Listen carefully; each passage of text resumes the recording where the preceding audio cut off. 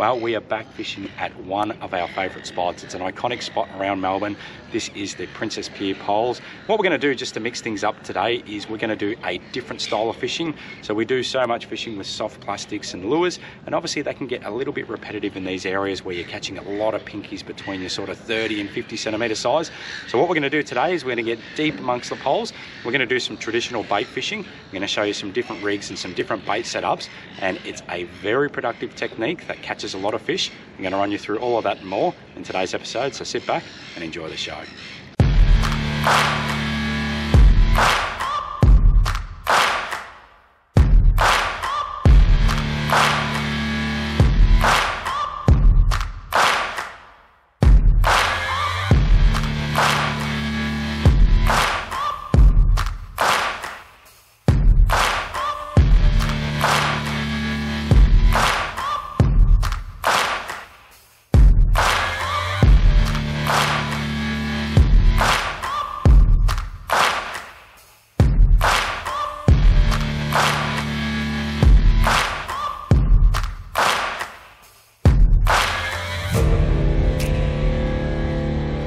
Something a little bit different today is we're coming in, we're resting up against these poles. Obviously, got to be mindful of the mussels and we don't want to do any damage.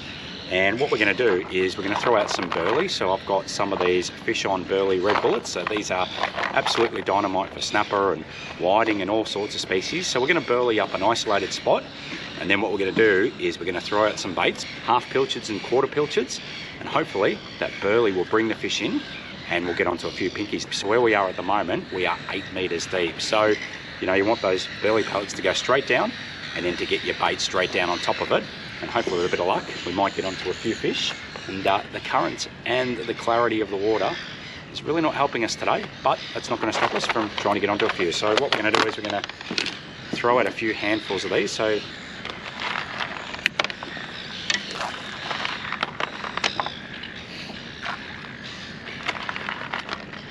And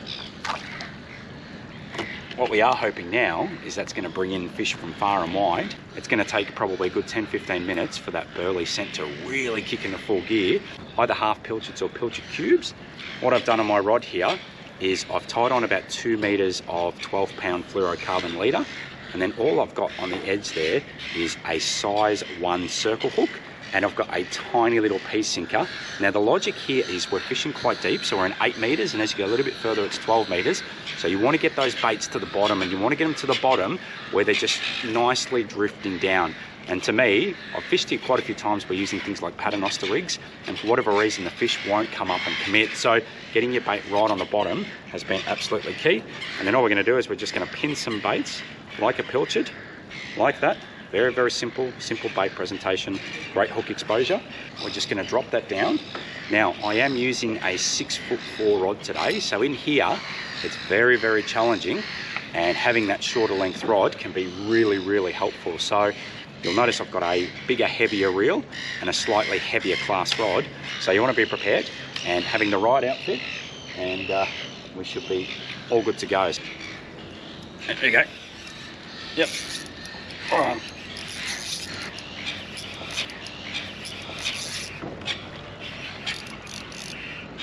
Works. it's a lively one. These are nice fish. There we go. Size at 1 hook there is pinned perfectly in his mouth, so we'll get that out there and uh, get this beautiful fish on his way. There you go, nice lively fish. See you matey. And away he goes. So I've got my little chopping board, got my knife, got some pillies ready to go all we're using is this here just that little size 1 0 hook. And the trick is you just want to pin these baits just underneath this part here so they don't come loose. So you basically just thread it through like that. You get wonderful hook exposure. All right and then all we're going to do is we're just going to cast this out. I want to make sure that pilchard doesn't fall off. And I reckon the most important thing is you want to have the rod in your hand because the fish here tend to hit the bait straight on the drop.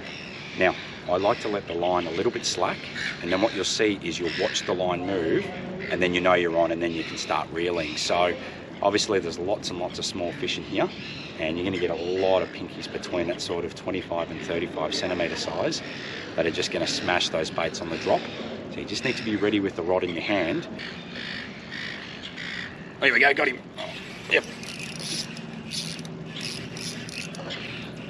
That's the way to do it. And this is working a treat now, so another half decent size pinky there. It's such a simple technique, but I think taking away all the complexity, a really simple rig, using one rod, just holding in your hand, having that line a little bit slack. As soon as you see that line tighten, you basically brace and get ready, and you can pull these fish. Because what these fish are going to do is they're going to try and pull you straight into these poles and wrap you up. Get that size 10 hook out there. Again, don't need big hooks. There you go. Simple form of fishing, but so much fun, and we'll get this little guy back on his way. We'll bait up another one and we'll catch another. All right, so here we go. So that's the rig just there, guys. So size 10 hook, tiny little pea size running sinker. And then all you're doing is you're just grabbing a pilchard, which I generally cut up into about four strips. So you got the head, where you can pin just straight through the lips, because that's the nice hard part of the bait. So you got a really, really nice bait like that. Then obviously you got the tail, and then you got the two parts in the middle that you can pin through under the top in the middle where you've got the spine of the pilchard that runs through and the key with this is just to be very, very patient. Obviously, that tiny little pea sinker is going to take a good minute to sink down to the bottom. So we're fishing in eight meters deep. All I'm doing is just letting a little bit of line out. You can feed a little bit of line off just to help that sink down because obviously it's very, very little weight, but don't think you need to go heavy. Like if you think about the logic, quite often we're fishing deep in Port Phillip Bay, sort of between 15, 20 metres. We're often using unweighted pilchards and that's a great way to catch a lot of fish. And again here, once you think you're on the bottom, clipping that bail arm closed, and then what I can see is that line's are slack. It's running now. Here we go. Gotcha. Oh. And then try and keep it off the poles is the fun part. And they go hard, these fish, don't you worry. That's a good one. Beautiful fish. There's another. That's a good size one. And then straight on the drop. Beautiful pinky like that. So look at that. So, you know, me and a lot of the boys that we're fishing with, we prefer to keep the bigger ones that are sort of between that 35 and 40 centimetre size. You're to get a bit more of a fillet. It's also great to see a lot of these smaller ones grow and get a lot bigger. And uh, there's definitely some trophy size fish around here. So hopefully we can battle through some of these smaller ones and uh, get stuck into bigger ones. But see you later, mate. You're going your way. All right, so that's about four fish and about five casts. So what we'll do now is we'll just cast this one here again. And again, the key is you just want to be in contact with your rod at all times. And then just watching your line is really, really carefully because a lot of times you're going to see your line running off the reel before you even feel the fish. So we can clip that over now. Then one of the things that we really want to do, oh, we're both on at the same time. just about to have a chat to you then and, that's it, you just got to muscle them. And once you get them away from those poles, then you just ease up a little bit. There you go. As a double, mate, at the same time. Both the reels just went There you go, there's another beautiful pinky. And obviously now that burley's working really, really good now as well because we're basically getting a fish every single drop. Yes, they're not big ones, but you know what, it's lots of fun. And on the channel, what we're always trying to do is just mix up stuff, guys. So yes, we do a lot of fishing with lures and soft plastics and all types of finesse gear. It's a bit of fun to come out with some baits and do some really traditional style of fishing in an iconic place. And uh, let's get this other little fish back on his way. And uh, the boys around me are copying the same technique and getting onto a few as well now. So, uh, all right, Pinky, let's get you on your way, mate. And uh, see you, matey, on your way. Let's grab another.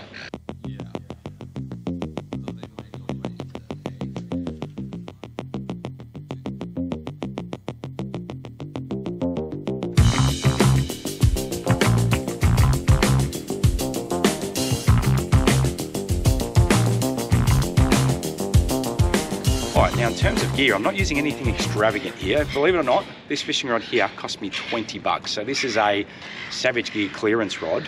So what I've got here, I've got one of those compact 5000 size reels. So that's a Shimano Sustain. So they are a nice reel. You can get any entry level, 2500, 3000, 4000.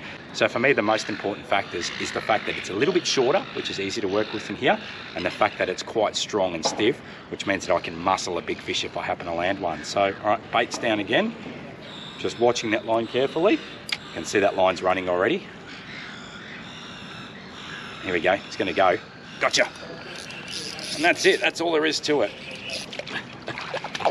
it's an awkward style of fishing, that's for sure. But very, very productive. Very productive. So obviously that burley's working a treat now. And then using this right here with nice small hooks. We're getting down into the strike zone. And we are catching plenty. So you can go on his way, see you matey. Alrighty, back in the game. So let's see if we can get straight back into the action. And what we might do is we might just move some of this stuff in here because it's very quick to end up with a cluttered mess when you're doing this style of bait fishing on a kayak. And obviously that's one of the beauties when you're fishing with lures and soft plastic so much. I'm going to be on here, we go straight. Oh, yeah, it's on. That took all of two seconds. Obviously when you're lure and soft plastic fishing, it's all about one rod, one reel, packet of soft plastics or two, a couple of jig heads and that's it, it's all you need. And it means you've just got so much cabin space.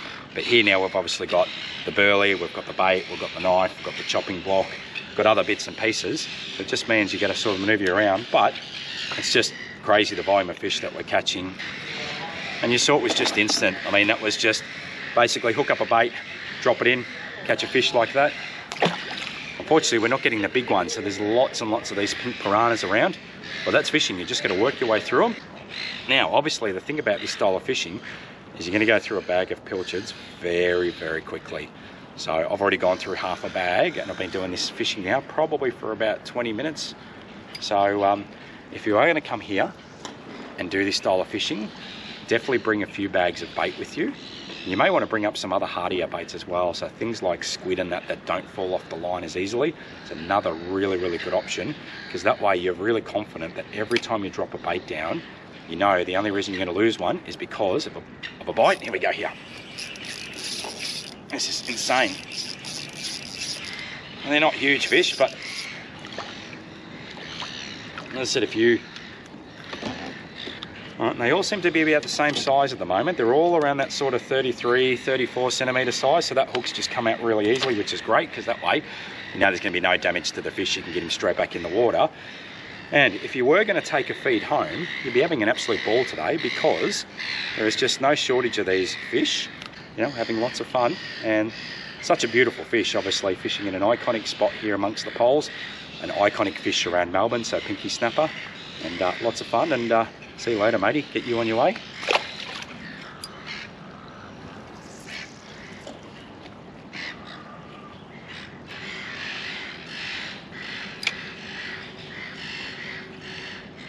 There we go. Gotcha. This is ridiculous.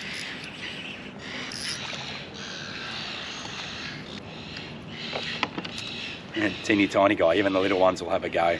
See you, buddy.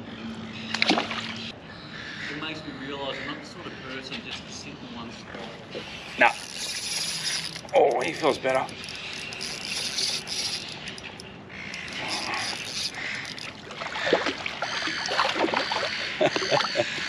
Calm down, mate.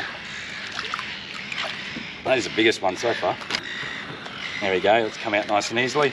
It is definitely a repetitive style of fishing, but of course if we were catching some bigger ones, you wouldn't be minding because you'd just be having so much fun dropping a bait and then, you know, tangling with some bigger fish. You could definitely take him home for a feed if you want to. For me, I just really, really enjoy doing catch and release fishing. So we're gonna get this beautiful fish on his way. But um, I've already gone through a bag and a half of pilchard. So that's how quickly you can go through this style of fishing. And I've been here probably for about 25 minutes and I've already lost count of how many fish we've caught ultimately we want to be out here catching. And when you're catching one literally every 30 seconds, nothing wrong with that. Let's bait up another one before we're out of bait and uh, get a few more. All right, so a couple of quick tips that might really help you with this style of fishing because you obviously want to come out and try and emulate this stuff yourself, right? So a few things that I would say are key takeaways. One is if you're going to do this style of fishing and the bite is on, don't come up and load up with three or four or five rods, even if you're on a boat, because all you're going to do is just create havoc for yourself. And you're going to find you're going to catch just as many with one rod. If anything, you'll probably catch more with one rod, and that's because you're watching the line very carefully, you're ready to strike when the fish go off. So if you fish with too many rods, I can tell you now, you're actually going to catch less fish. So this one's about to go off in a second. So um, there we go, got him. And so definitely, it's definitely a case of less is more. Definitely fish with smaller hooks. If you can use shorter length rods, I would definitely recommend that. So very, very small sinker, nice small hook, get your bait down to the bottom using one rod and one reel and I'll tell you what, you're just going to catch plenty just like this. I think if you try and do too much, you'll actually catch less. So see you later, matey, you're going your way. We are fishing in winter, and I think people have this thought that as soon as winter comes around, you have to put the kayak or the boat away. You don't. You can have some really, really fun and productive fishing during winter. You just need to know the right areas to fish, and how to set up properly and all that technique. So there's lots of stuff on our members area, guys, if you do need some help with that.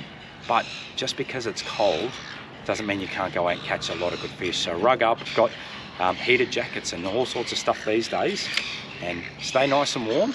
And all your bread and butter species like your pinkies, your King George whiting, your squid, your gummy sharks, your flathead, you can still catch them in really good volumes, even though that water temperature is a lot less than normal.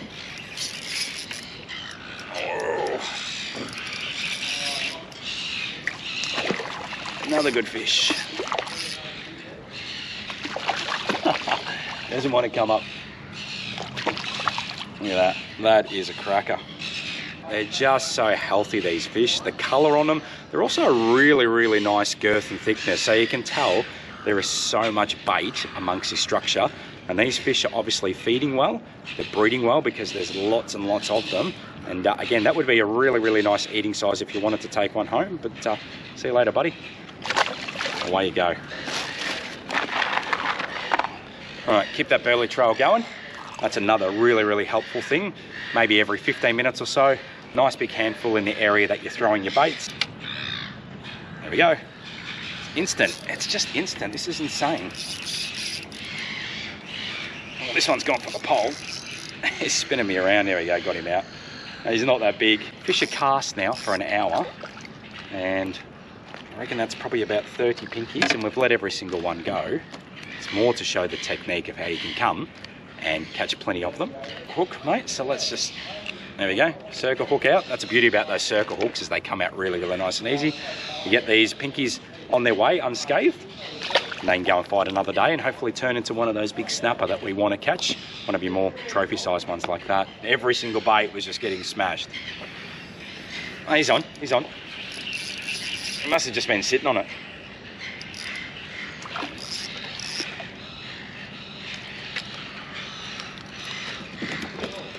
Getting absolutely annihilated by fish of this sort of size. He's much on the smaller side, so we'll let him go.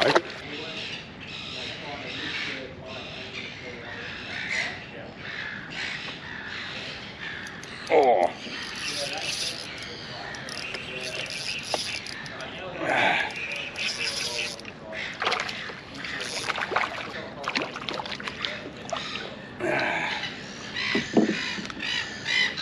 So I am up to my last pilchard. I've gone through two bags of pilchards in an hour, and I reckon we've caught about 50 fish. Unfortunately, the big ones have eluded us today, especially in winter and these colder months. You do tend to find you get that odd, really, really big fish. And I know land-based fishing around here, I've had a few mates that have been catching some really, really good sized ones on the evenings, but um, it's still a lot of fun to come out here do a different technique, which is obviously a very basic traditional technique, and uh, just have fun catching fish after fish. And there's nothing wrong with that. But uh, I reckon I've got about five minutes left of this bait fishing because we're going to be all out of bait in a minute. Gotcha.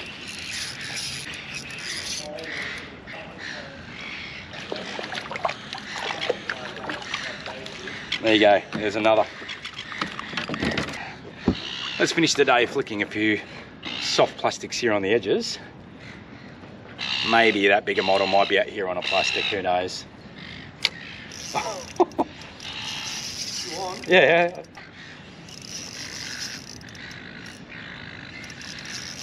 How quick was that? First cast on the soft plastic. Makes you wonder what's better, plastics or baits. There we go, that's a question that'll open up a can of worms. Good fish too. Oh.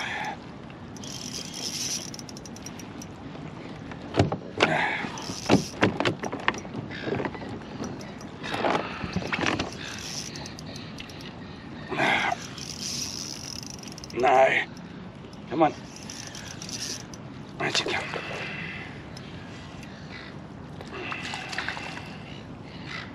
All right, you think it's something much bigger, don't you?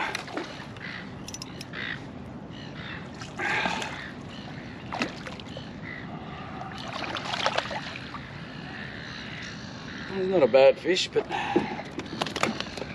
well, there you have it, guys. Bait fishing amongst the poles, Princess Pier in Port Melbourne. It's been a lot of fun out here. We have just caught fish after fish after fish, using some basic burling techniques, some basic rigs, using some simple baits, and we've just caught so many fish in a simple and traditional technique that just works time and time again.